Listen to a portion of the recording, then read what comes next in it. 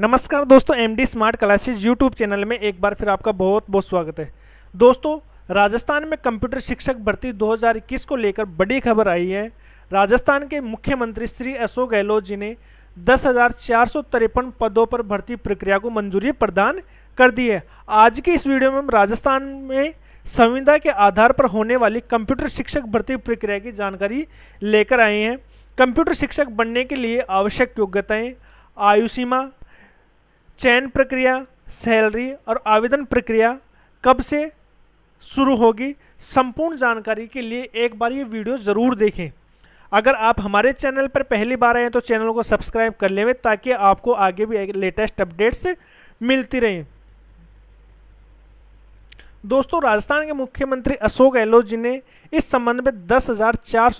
पदों के सर्जन और इन पर संविदा आधार पर आवश्यक तत्काल भर्ती के लिए स्वीकृति प्रदान कर दिए और साथ ही साथ अलग से कैडर बनाने के प्रस्ताव को भी मंजूरी प्रदान कर दिए राजस्थान में स्वीकृत प्रस्ताव के अनुसार शिक्षा विभाग में कुल नौ बेसिक कंप्यूटर अनुदेशक तथा पाँच वरिष्ठ कंप्यूटर अनुदेशक के पद सर्जित होंगे बेसिक कंप्यूटर अनुदेशक के लिए वेतनमान एवं वांछित योग्यता सूचना प्रौद्योगिकी विभाग में सूचना सहायक पद के समकक्ष रखी गई है तथा वरिष्ठ कंप्यूटर अनुदेशक के लिए वेतनमान और योग्यता सूचना प्रौद्योगिकी विभाग में सहायक प्रोग्रामर पद के समकक्ष रखी है दोस्तों आगे इस वीडियो में बात करेंगे सूचना सहायक पद के लिए एजुकेशन क्वालिफिकेशन क्या है शैक्षणिक योग्यता क्या रखी गई है साथ ही साथ सहायक प्रोग्रामर पद के लिए शैक्षणिक योग्यता क्या रखी गई है दोस्तों ये सूचना विभाग द्वारा जारी राजस्थान कंप्यूटर राज्य एवं अधीनस्थ सेवा नियम उन्नीस हैं इसके तहत इसमें आवश्यक योग्यताएं और आयु सीमा पूरा प्रावधान दे रखा है तो सबसे पहले हम बात करते हैं योग्यता के लिए दोस्तों सूचना सहायक पद के लिए आवश्यक योग्यता होगी जो कि बेसिक कंप्यूटर अनुदेशक पद के लिए काम आएगी तो दोस्तों बेसिक कंप्यूटर अनुदेशक पद पर चयन होने के लिए सूचना सहायक पद के समकक्ष योग्यता होनी जरूरी है तो सूचना सहायक पद के लिए योग्यता है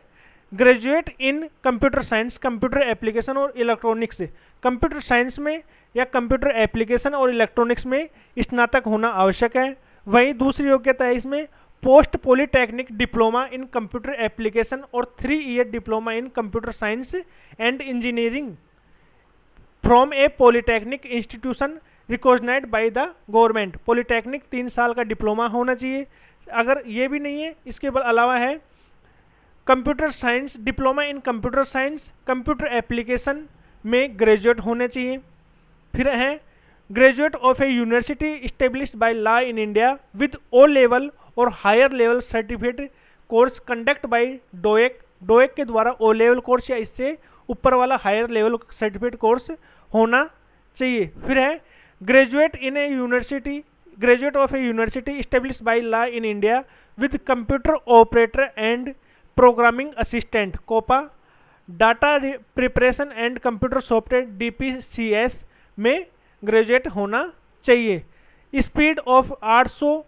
8000 की depression per hour on computer in Hindi and English typing दोनों टाइपिंग होनी चाहिए यह है सूचना सहायक पद के लिए योग्यता अब बात करते हैं वरिष्ठ कंप्यूटर अनुदेशक पद के लिए योग्यता रखी गई है सहायक प्रोग्रामर पद के समकक्ष अब सहायक प्रोग्रामर पद के लिए आवश्यक शैक्षणिक योग्यता क्या है तो इसमें है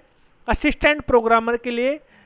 qualification and experience direct recruitment के लिए तो दोस्तों यहाँ पर है graduate with a computer science और इलेक्ट्रॉनिक्स एंड कम्युनिकेशन और information technology from a university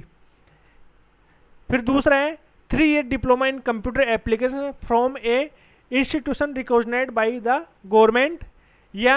graduate from a university established by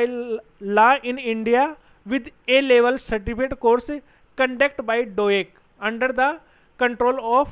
Department of Government in India, or 2-year working experience of a computer operations in a government organization, government undertakings, public limited ya private limited company. तो ये दोस्तों ये थी सूचना सहायक पद के लिए और सहायक प्रोग्रामर पद के लिए आवश्यक योग्यताएं दोस्तों अब बात करते हैं इन पद पर चयन होने के लिए आयु सीमा का क्या प्रावधान रखा गया दोस्तों यहाँ पर है आयु सीमा के लिए आयु सीमा के लिए programmer assistant programmer and informatics assistant programmer सूचना सहायक और सहायक प्रोग्रामर पद के लिए अधिकतम आयु सीमा रखी गई है पैंतीस ईयर और न्यूनतम आयु सीमा रखी गई है इक्कीस ईयर आयु सीमा गणना होगी जनवरी माह से फर्स्ट डे ऑफ जनवरी माह next following the last date fix of receipt of applications दोस्तों आयु सीमा ये है न्यूनतम पास मार्किंग का प्रावधान रखा गया है क्योंकि न्यूनतम पास मार्किंग है दोस्तों मिनिमम क्वालिफाइंग मार्क्स है यहाँ पर 40 प्रतिशत पास मार्किंग रखी गई है सभी अभ्यर्थियों के लिए यहाँ पर एससी और एसटी वर्ग के अभ्यर्थियों को छूट दी गई है यहाँ पर 36 परसेंट पास मार्किंग उनके लिए रखी गई है दोस्तों अब बात करते हैं वेतनमान की तो दोस्तों वेतनमान के लिए सूचना सहायक पद वेतनमान के लिए है ये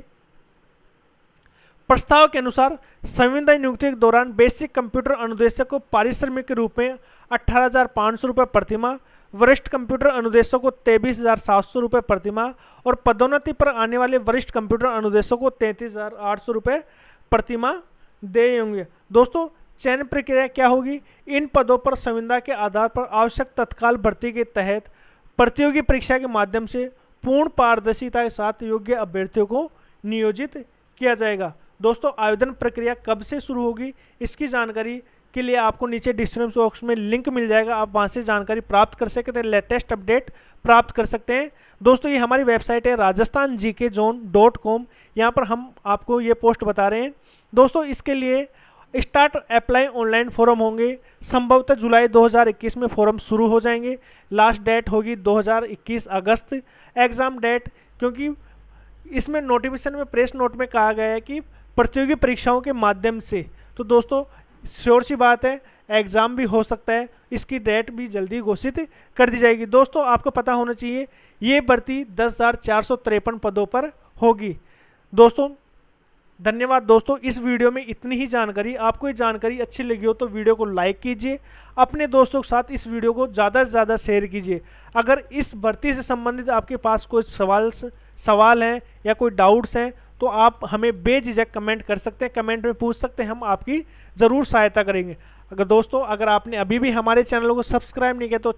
चैनल को सब्सक्राइब कर लें पास में बेल आइकन को प्रेस कर दें जिससे हमारे आगे आने वाली लेटेस्ट अपडेट्स की नोटिफिकेशन आपको समय पर मिल सके दोस्तों मिलते हैं अगले वीडियो में तब तक के लिए नमस्कार जय हिंद